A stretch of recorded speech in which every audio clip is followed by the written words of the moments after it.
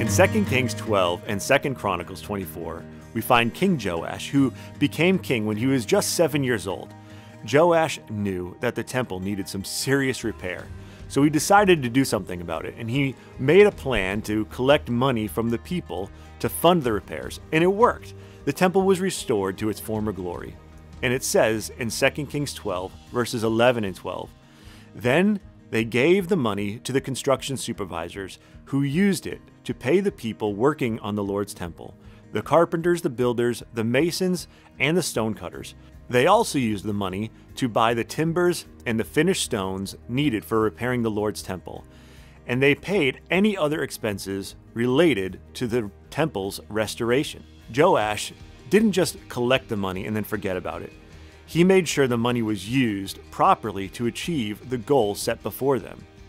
There's a lot that we can learn from these two chapters, but I want to encourage you today never underestimate what God can do through us, no matter how young or inexperienced you may feel. Joash was just a kid when he became king, but he was still able to make a big impact. But also, we should always make sure that our resources are being used wisely. Whether it's money, time, or talent, we must be good stewards of what God has blessed us with we have to honor Him by being intentional about how we use what God has given us.